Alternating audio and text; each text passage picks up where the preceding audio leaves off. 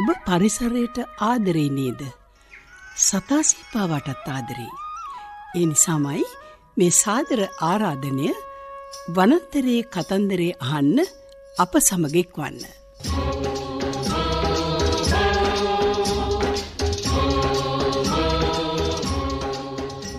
ජනතාවගේ නිරෝගීමත් බව අගේ කරමින් වසවිස නැති කිරි නිෂ්පාදන ජනතාව අතරට බෙදා දෙන පැල්වත්ත කිරි කර්මාන්තායතනයේ පූර්ණ අනුග්‍රහයෙන් වනජීවී සංරක්ෂණ දෙපාර්තමේන්තුවේ සහභාගිත්වයෙන් ඔබ වෙනුවෙන් සැකසෙන වනාන්තර ආශ්‍රිත චාරිකාවෙන් අප දැනකයාගත් රසපර වින්දනීය තොරතුරුහන්න ඉදිරි අඩහෝරාව අප සමග රැඳී ඉන්න.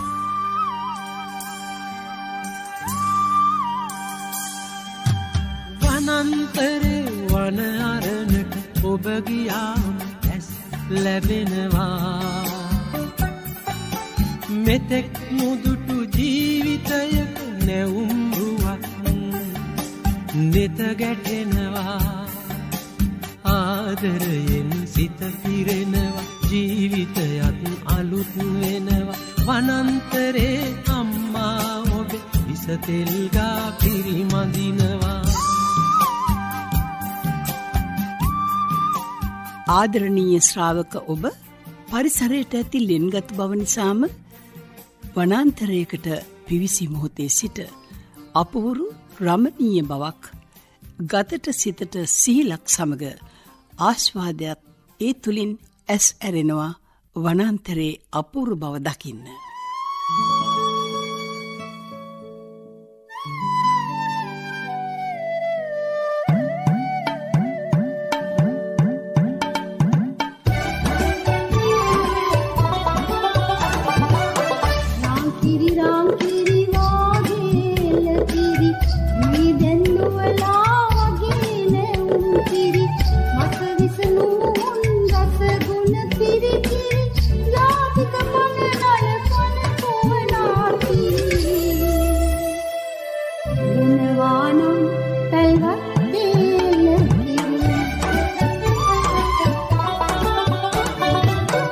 වනන්තරයේ සතාසීපාවා වගේම ශාක ප්‍රජාවත් ජෛව විවිධත්වයත් එකසේ මිනිස් ජීවිත හා බැඳී තිබෙනවා. රටක එවන් වූ ස්වභා සම්පත් මෙන්ම මිනිසා නිරෝගිමත් බුද්ධිමත් ක්‍රියාශීලී පුද්ගලයකු කරන වස විස නැති කිරි නිෂ්පාදන ජනතාව අතට ලබාදීමේ අගනා ක්‍රියාදාමයට අතහිත දෙන පැල්වත්ත කිරි කර්මාන්තා ඇතනේ සභාපති ආර්යශීල වික්‍රමනායක මහතා මේ අදහස් ඔබ හමුවේ තබන්නේ වඩාත් අර්ථවත් පණිවිඩයක් ලබා දෙන්නයි. වෘක්ෂලතා වනජීවීන් සතා සර්පයා ගස් කොළං මෙසිියල්ල මයිති මෙසිියල්ලටම වනජීව කියනකොට වනේ ඉන්න හීලන උුණු ගවයන් ගෙන හැල්ලත් මිනිස ගොවයා හීලා කරගන තමුගේ දරුවන්ට අවශ්‍ය කිරිටික දෙන අතිරික්තයක් වූ ගවයන්න වනන්තරය තුළ ඒ තියෙන තනකොළ පරිභෝජනය කරමින් ඔවුන්ගෙන් තෝරාගෙන බේරාගෙන අල්ලගෙන එන සතුන් තමයි අපි ආනාධිමත් කාලයක් තිස්සේ පාවිච්ච කෙරුවේ. අපේ ගොවිතැනට අපිට අවශ්‍ය ගොම පෝර ටික ගන්න දරුවට කිරි ටික දෙන්න ගෙදරට අවශ්‍ය මී කිරි ටික හදාගන්න මේ මේ මේ ඔක්කොම වනජීවි සම්පත්. අනිත් ලෝකයේ අනිත් රටවලට හීතල මහ මාසයක් තියෙන රටවලට මේ සම්පත් නැහැ. මේ තියෙන සම්පත් එක්ක අපි මහා ආඩම්බරකාර සම්පත්වලින් පිරි ලෝකයේ උතුම් රටක් මේක ලෝකයේ උතුම් රට ආසියාවේ ධාන්‍යකාරය කිව්වේ මේ හේතුන් නිසා. අපි අද වෙනකොට පිටරටින් ගෙනල්ලා කෑම කන්නයි, ධාන්‍ය පිටරටින් ගේන්නයි, කිරි ටික පිටරටින් ගේන්නයි, වතුර ටිකත් ප්‍රංශෙන් ගේන තැනකටම පහත තත්වයකට වැටුණනම් අපි මේක වහාම නතර කරලා නැවත හිතලා බලලා. බුද්ධාගම විතරක් ඇවිල්ලා අවුරුදු 2600ක් වෙනවා. බුද්ධාගම ලංකාවට ගෙන වෙලාවෙත් අපේ රජවරු රෙදි ඇඳගෙන රජමාසල් වල ජීවත් වෙන කාලෙක ඒකට තව කවුරුදු කී දහකට ඉස්සර රෙදි අඳින පවුලක් සමාජයක් හැටියට දියුණු ශිෂ්ටාචාරයක් අපේ රටේ තියෙන කලේ ගල්යට ගස්සට නෙවෙයි. ඒ කාලේ යුරෝපයාට රෙදි දැකලත් නෑ ඒක දවස් වෙනකොට. ගෙදරක් තිබිලත් නෑ. ඉතින් අපි ඊට වැඩි හුඟක් දියුණු චම්ම අපිට තියෙන්න ඕනේ මේ ඉංග්‍රීසි කතා කරන්නේ නැතුනොත් ඉතින් අපි ශිෂ්ටාචාරයක් නෑ කියන එකක් නෙවෙයි. ශිෂ්ටාචාර කියන්නේ මනුෂ්‍ය ශිෂ්ටාචාරය. අපි මේ ළඟදී අහගෙන හිටිය අවුරුදු 20000කට පරණ මානවකයාගේ දත් හම්බෙලා තියෙනවා කියලා. ඉතින් මේ මේ හොයාගෙන යනකොට කියයි අපි ලෝකයේ තියෙන පරණම දියුණුව සමාජයක්. ඒක නිසා ඊටමත් මේ තියෙන සම්පත් එක්ක අපිට ජීවත් වෙන්න පුළුවන්. පිටරටින් අපිට කිසිම ආහාරයක් බීමට කෑමට ගේන දෙයක් නැහැ. අත්‍යවශ්‍ය බඩු සියල්ලම මේ රටේ තියෙනවා.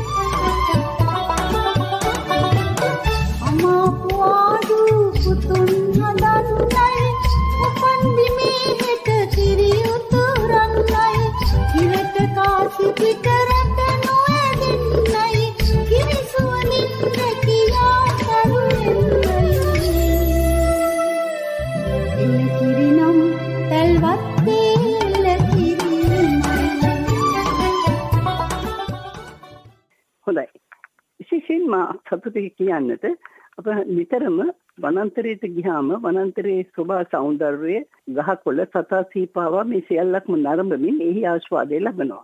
ඒ සමගම ඊට අ, පාදක වන සතා සීපාවා පිළිබඳ විවිධ ගැටලු වලට අ, මුහුණ දෙන අවස්ථා තිබෙනවා. වනන්තරයේ නරඹන්නට එන සංචාරකයන් වගේම ඒ සංචාරකයන් සඳහාම දෙන් උන ඒ වැඩපිළිවෙල යටතේ සමහර අවස්ථාවලදී සංචාරකයන් අතින්ම ඒ සතා සීපාවාට හිරිහැර සිදුවන අවස්ථාත් බොහෝ විට වාර්තා වෙනවා. මෙය අද ඊයේ සිදුවක් නෙමෙයි එදා ඉඳලම සිද්ධ වෙන දෙයක්. වැඩිපුර දෙයක් නෙමෙයි. සත්තුන්ට අ, ඔබ අරන් එන ආහාර වර්ග දෙන එක.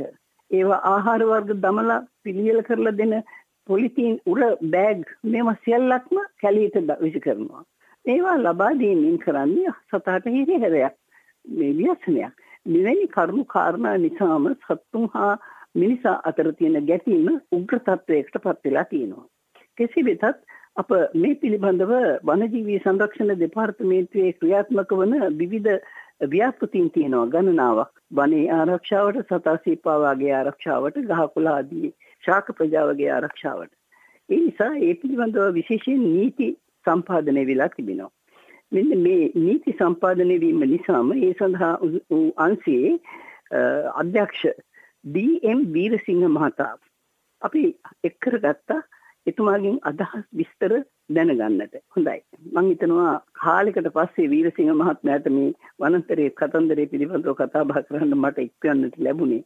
මම හිතනවා ඔය නොයෙකුත් වනජීවී උද්‍යානවලදී ඔබතුමා මට හමු වෙලා තියෙනවා. නමුත් අද ඔබ ප්‍රධාන කාර්යාලයට ඇවිල්ලා වඩා ඊට වඩා බලවත් අ, කටයුතු රාශියකට මැදි වෙලා කටයුතු කරමින් ඉන්නේ. හොඳයි ලොකු වගකීමක් ඔබතුමාට පැවරෙන්නේ. හොඳයි බොහොම ගෞ- ගෞරවයෙන් පිළිගන්නවා ආයිබෝවන් කියලා. හොඳයි දැන් අපිට පැහැදිලි කරලා දෙන්නකෝ අ, මොකද්ද මේ වනජීවී සංරක්ෂණ දෙපාර්තමේන්තුව සතා සීපාවා වෙනුවෙන් අ, ඔවුන්ගේ සංරක්ෂණ ආරක්ෂාව සඳහා ඇති කරලා තියෙන නීති පද්ධතීන් මොනවද කියලා. වනජී සංරක්ෂණ දෙපාර්තමේන්තු වශයෙන් අපි අ, ගොඩක් විට සතා සිව්පාවා වන අ, රක්ෂිත වනජී රක්ෂිත ආරක්ෂා කිරීමේ කාර්යය තමයි නියැලලා ඉන්නේ. එතකොට අපිට විශේෂයෙන්ම වනජී සංරක්ෂණ දෙපාර්තමේන්තුවට වන සතුන් සම්බන්ධයෙන් අ, ක්‍රියා කිරීමේ මූලික කාර්යය පැවරලා තියෙනවා. අපි වන සතුන් සම්බන්ධයෙන් ගත්තොත් අපි ආශ්‍රිත නොවන සියලුම සත්තුන් වන සතුන් වශයෙන් තමයි අපි හඳුන්වන්නේ. ඒකට මේ වනසතුන්ට සිදුවෙන්නා වූ හානිදායක තත්ත්වයන් සම්බන්ධයෙන් වනසත්තා උසලතා අරස ආඥාපනතා අනුව නීති ක්‍රියාත්මක කිරීමේ බලතල වනජීවි නිලධාරීන් වෙත පැවරලා තියෙනවා. ඒ අනුව අපි අ, ඒ පනත ප්‍රකාරව වනජීවි නිලධාරීන් විසින් ඒ අදාළ සිදු කරන්නා වූ වැරදි සම්බන්ධයෙන් නීති ක්‍රියාත්මක කිරීම කටයුතු අ, දිගටම සිදු කරමින් පවතිනවා. හොඳයි. මේ දැන් කාලෙ මිනිස් ගැටුම උග්‍ර වෙලා තියෙන කාලෙක අහ, ඒ පිළිබඳවත් අපිව දැනුවත් කරන්න. අපි ඉස්සර නම් විජේසිංහ මහත්මයා අහලා තියෙනවා අ, මිනිසත් අලියත් දෙන්නම බොහොම සමගියෙන් එකට එකතු වෙලා හිටියයි කියලා. ඒ කියන්නේ අලියා ගමන් කරන මග අහුරන්නේ නැතුව මිනිසා අයින් වෙලා යනවා නම් අලියට ප්‍රශ්නකුත් නැහැ මිනිසට ප්‍රශ්නකුත් නැහැ. නමුත් අද වෙලා තියෙන්නේ ඊට වඩා හාත්පසින්ම වෙනස් වෙච්ච දෙයක්. ඒ කියන්නේ අ, අලියා අලි ගමන් කරන ගමන් මග හරස් කරලා ඒ හැරියේ ගෙවල් දොරවල් හදාගෙන මිනිස් අයිතිවාසිකම් පෙන්වන්න හදනවා මිනිසා විසින්. ඉතින් මේකට කැමති වෙන්නේ නැහැ කැලේ ඉන්න සතා සේපාව. අපි කැලේට ගිහිල්ලා ඔවුන්ගේ අයිතිය උදුර ගන්නකොට උනුත් නිකන් ඉන්නේ නැහැ. ඉතින් මෙන්න මේ වගේ උග්‍ර තත්ත්වයක් තියෙන්නේ මේ පිළිබඳව මොනවද අරන් තියෙන වැඩ පිළිවෙල. ඔව් සාන අලිමිනිස් කෙටුම අ, ඉස්සර තිබුණේ අලි- අලිමිනිස් සහජීවනයක්. එතකොට මිනිස්සු සහ වන සතුන් අතර සහජීවනෙන් ජීවත් වීමත් තමයි පුරාණ කාලයේදී පැවතුනේ. දැන් වර්තමානයේ වෙනකොට ජනගහනය වැඩිවීමත් එක්ක ඒ වගේම පරිසර පද්ධති හායනය සිදුවීම ඒ වන හායනය සිදුවීමත් එක්ක මිනිස්සු මේ සතා සිව්පාගේ වාසස්ථාන ආක්‍රමණය කිරීමෙන් මේ අලිමිනිස් ගැටුම කියන තත්ත්වයට අද පත් වෙලා තියෙනවා. ඒ වගේම ඇත්තටම වන අලිමිනිස් ගැටුම කියන එක අද මම දකින්නේ අපි සංරක්ෂණය සහ සංවර්ධනය කියන කාර්යයන් දෙකේ අතුරු ප්‍රතිඵලයක් ඇටියට. එතකොට මේ සංවර්ධනය කිරීම කාර්යයේදී අපි නියමානුකූල ක්‍රමවේදයන් ඔස්සේ ගමන් නොකිරීම තුළ එනම් අපි ඊఐఏ වගේ පරිසර පද්ධති පරිසර බලපෑම් ඇගීමක් සිදු කරලා ඒ හා සමාන ක්‍රමවේදයක් තුළ මේවා ක්‍රියාත්මක වෙනවා නම් පරිසර පද්ධතියට වෙන හානිය අවම කරගන්න පුළුවන්. ඒ වගේම පරිසර පද්ධතියට හානි අවම කිරීම තුළ මේ වනසතුන්ගේ වාසස්ථානවල සිදුවෙනා වූ හානි අවම කර ගැනීම හැකියාවක් අපිට තියෙනවා. නමුත් අද මේ සියල්ලම සිදු නොවීම තුළ කඩිනම් ව්‍යාපාර කඩිනම් සංවර්ධන කටයුතු මාර්ග සංවර්ධන කටයුතු හෝ අනෙක් ව්‍යාපාරයන් ජලාශය ඉදිකිරීම වගේ කටයුතු වලදී අපේ මේ EIA කියන process EIA ක්‍රමවේදයෙන් බැහැරව යන අවස්ථා නිසා විශාල වශයෙන් අපිට සිදු වෙනවා මේ පරිසර හානියට මූණ දෙන්න. මෙතනදී අලිමිනිස් ගැටුම විතරක්ම නෙවෙයි අනෙත් සත්තුන්ගේ ගැටුමකුත් මිනිසුත් අතර පවතිනවා. ප්‍රධාන වශයෙන් අපි කතා කරන්නේ අලිමිනිස් ගැටුම ගැන. එතකොට අලිමිනිස් ගැටුම කියන එක අපි එදා පැවතුනාට වඩා අද ඉතා තීව්‍ර වීගෙන යනවා. මොකද අලියාට අවශ්‍ය ආහාර, සෙවණ සහ ජලය ඒ මූලික අවශ්‍යතාවයන් ලබා ගැනීමේදී අලියාට ඇතිවෙන ගැටලුකාරී තත්ත්වයක් තියෙනවා. මේට ප්‍රධාන හේතුව මිනිසු මේ අලියට අයිති ඒ වාසස්ථාන අහිමි කිරීම. එතකොට අලි මිනිස් ගැටුමේදී අලි මංකඩවල් ඇහිරලා තියෙනවා අලියාගේ වාසස්ථාන නැති වෙලා තියෙනවා මේක නිසා ගමට දැන් අලි එන්න පුරුදු වෙලා තියෙනවා. එතකොට මිනිස්සු ඇත්තටම අලියා ගමට එනවා කියන එකට වඩා මිනිස්සු අලියාගේ ස්ථානෙට ගියා කියන එක තමයි මම නිර්වචනය කරන්නේ. මොකද ඒක නිසා මේ ගැටුමක් නිර්මාණය වෙලා තියෙනවා.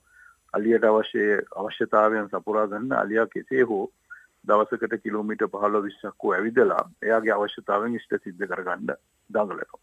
ඒ අවස්ථාවේදී මිනිසුත් මේකට යොමු වෙලා ඔවුන්ගේ වගා බිම් වලට අලි එනකොට ඒ වෙඩි තැබීම හෝ වෙන ආකාරයකින් මේකෙන් විනාශ කිරීමට කටයුතු කරලා තියෙනවා. ඒ අනුව අලි මිනිස් ගැටුම අද ඇත්තටම උග්‍ර වෙලා තියෙනවා. ඉතින් මේක වළක්වා ගන්න සඳහා දෙපාර්තමේන්තු වශයෙන් අපි විදුලි වැටවල් නිර්මාණය කරලා අලි අගල් නිර්මාණය කරලා අලියා සහ මේ මිනිසා අතරේ තියෙන මේ විශාල මේ ගැටුම වළක්වා ගැනීම සඳහා ක්‍රමවේදයන් අනුගමනය කරගෙන යනවා. ඉතින් කෙසේ හෝ ඒ සමහර අය එක ආකාරයට ගත්තොත් අපි දල ඇතු ඝාතනය කරලා දල ලබා ගැනීමේ කාර්යයකටත් යනවා. ඒක තුලත් මේ වගේ දේවල් සිද්ධ වෙනවා. ඉතින් ඒක නිසා මම කියන්නේ අපි නීති ක්‍රියාත්මක කරන මෙවැනි අවස්ථාවලදී අලි මිනිස් ගැටුමට වඩා අලි ඝාතනය සිදු වෙනවා නම් ඒක සිදු වෙන්නේ ඇත්තටම සමහර අයගේ ජාවරමක් විදිහට සිදු කරන ක්‍රමවේදයක් තියෙනවා. ඒක තුල අපි මේ සඳහා නීති කඩින්ම ක්‍රියාත්මක කිරීමට කටයුතු කරනවා.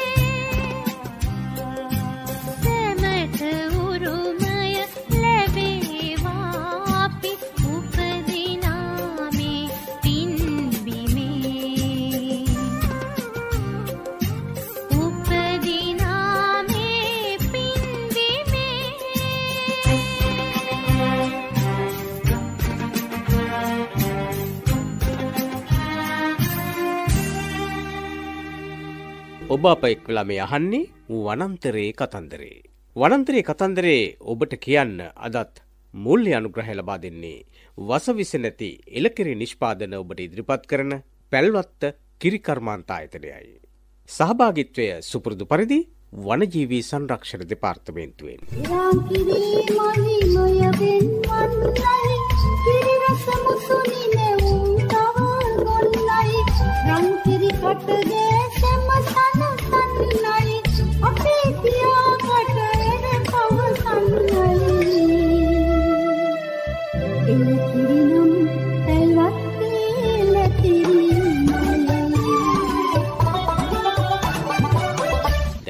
ආයෙත් අහමු වනන්තරේ කතන්දරේ.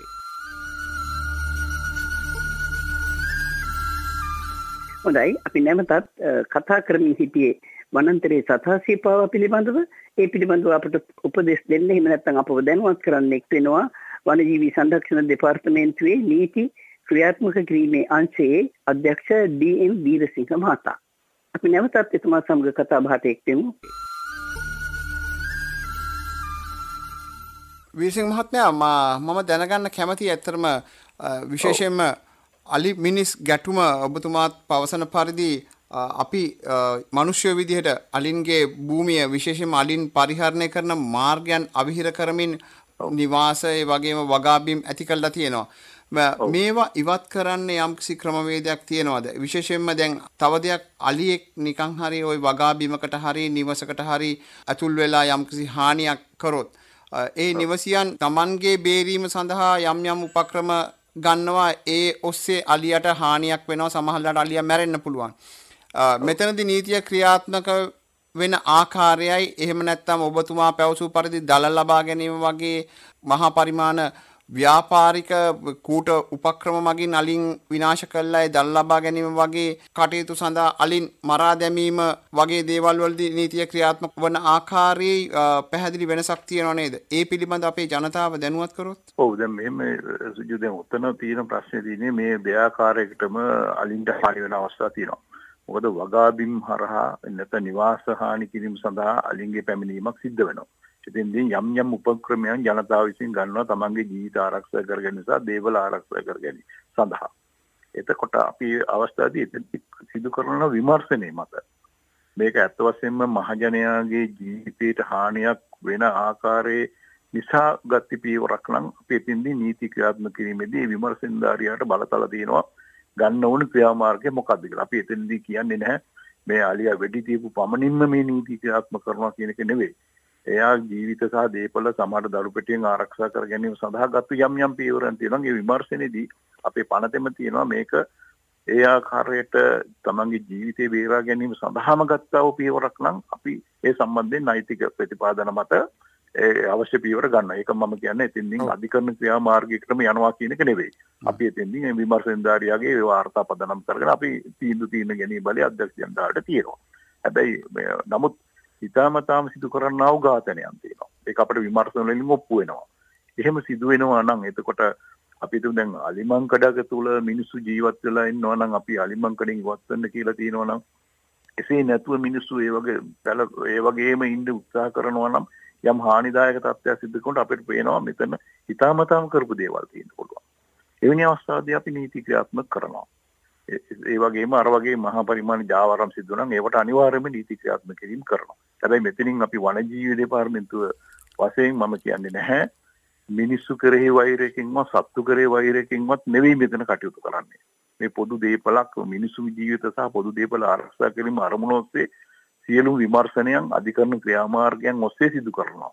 එතකොට අධිකරණය තමයි අවසාන තීන්දුව ගැනීමේ බලතල තියෙන්නේ. අපි ඒ දක්වම අ, ගෙනින් අ, ඒ කටයුතු සර්ව සාධාරණ විදිහට ඉෂ්ට සිද්ධ කරනවා. දැන් අපි අ, දකිනවා මේ අලි ඇතුන්ගෙන් පමණක් නෙමේ මිනිසාට හානි වෙන්නේ නැත්තම් මිනිසාගෙන් හානි සිදුවන අ, තවත් මිනිසා විසින් ඔවුන්ගේ භූමිය ආක්‍රමණය කිරීම නිසා හානි සිදු වෙලා මිනිසාත් එක්ක ගැටුමට ලක් වෙන තවත් සතුන් ඉන්නවා විශේෂයෙන්ම වඳුරන් අ, දඬුලේනුන් ඒ වගේම මොනරුන් වගේ සතුන් මිනිසාගේ අ, වගා භූමි වලට අ, ආක්‍රමණය කළා අ, වගා හානි කිරීම තුළ මිනිසා අතින් ඒ සතුන් විනාශ වීමේ තර්ජනයට ලක් වෙලා තියෙනවා.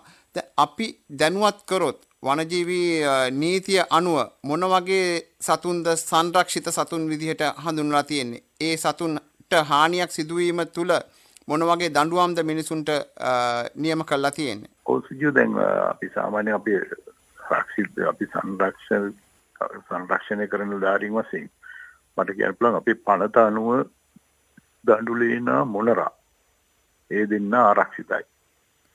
එතකොට අපේ පනතෙන් ආරක්ෂිත නොවන සත්තු ඉන්නවා.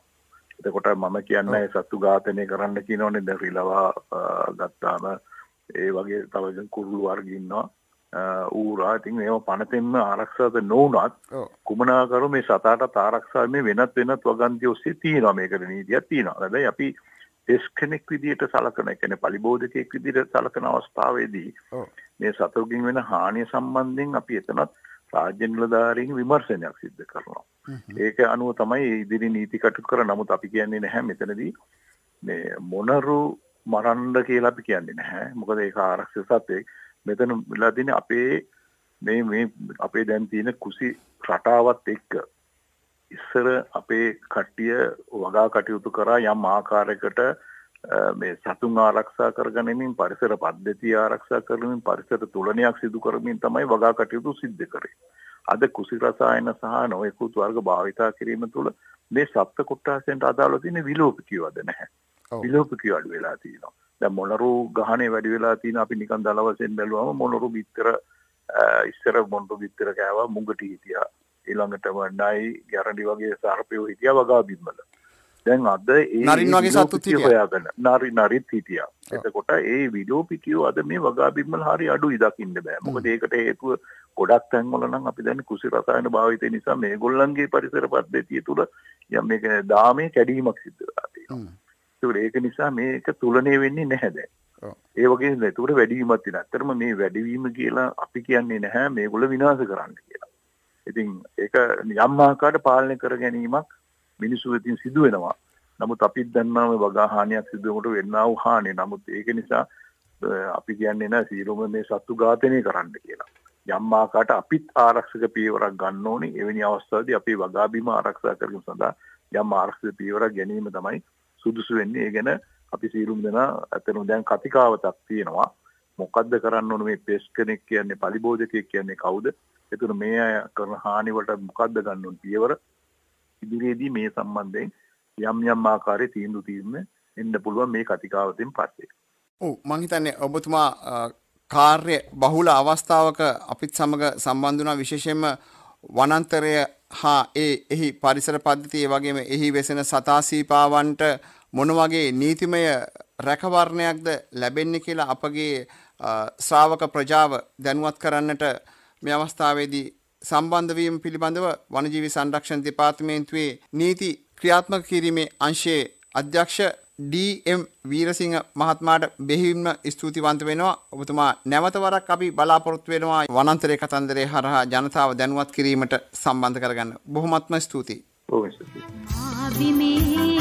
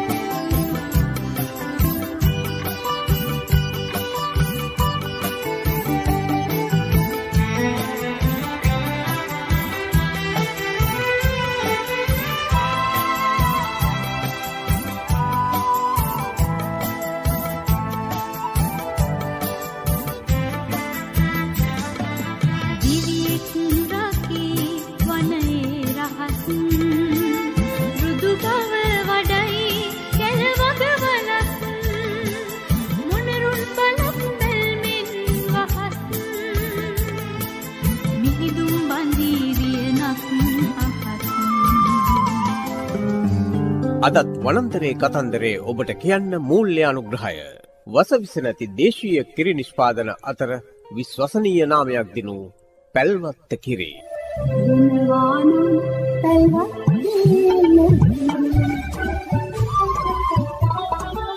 පැල්වත්ත කිරි ඔබට ලබාගත හැකි දිවයිනේ නියෝජිත ස්ථාන කීපයක් මේ. අංක දෙසිය අසූ හතෙන් දෙක ස්ටැන්ලි තිලකරත්න මාවත නුගේගුඩ. අංක දෙසිය තිස් හතරෙන් දෙක ගාලුපාර කොල්ලුපිටිය. අංක දෙසිය අනු නමය මාතරපාර ගාල්ල.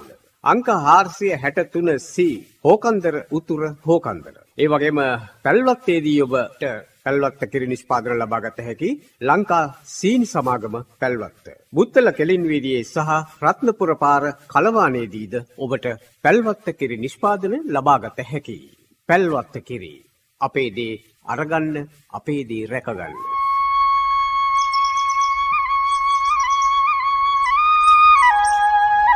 මේ අවසන් වන්නේ පැල්වත්ත කිරි කර්මාන්තායතනයේ අනුග්‍රහයෙන් වනජීවී සංරක්ෂණ දෙපාර්තමේන්තුවේ සහභාගිත්වය සහ සංවිධානය යටතේ ඉදිරිපත් කළ වනන්තරයේ කතන්දරේ තවත් අර්ථවත් පියවරක්. වනන්තරයේ කතන්දරේ ඔබට කියන්න උපදේශකත්වය පැල්වත්ත කිරි කර්මාන්තායතනයේ සභාපති ආර්යශීල වික්‍රමනායක මහතාගෙන. වනන්තරේ කතන්දරේ අදත් සම්බන්ධීකරණය වනජීවි සංරක්ෂණ දෙපාර්තමේන්තුවේ මාධ්‍යාංශ ප්‍රධානී හසිනී සරච්චන්ද. පරිගණක ක්‍රියාකාරීත්වය ඉඳුනිල් උපමාලිකා. නිෂ්පාදක සුජීව ප්‍රේශාන්ත. පිටපත සැලසුම හා මෙහෙවීම සුමනා ජයතිලක. මම විජයසිරි බෝපගේ. වනන්තරය හරිම සුන්දරයි. වනන්තරේ කතන්දරේ ඊටත් වඩා සුන්දරයි. පැල්වත්ත කෙරි වීදුරුවක රහ බලමින් වනන්තරේ කතන්දරේ අහනවනම් තවත් සුන්දර වේවි. හොඳයි. ඒ සුන්දර වූ මොහොත ලබන සතියෙත් සිකුරාදා හවස පහට අපත් සමග ගත කරන්න අමතක කරන්න එපා. සුවදායක වූ පරිස්සරයක්ම උදාවේවා. ගඟට දොලට පණරෙන්නේ සතයි ගහ කොලයි පලා කොලින් ලියලන්නේ මේ සොබාදමයි ගනේ කොලේ මල්ලො පිටන දාට ලොවනිමයි වනේ සතුන් මිනිතලයට අයිනිය දිනටයි වනේ සතුන් මිනිතලයට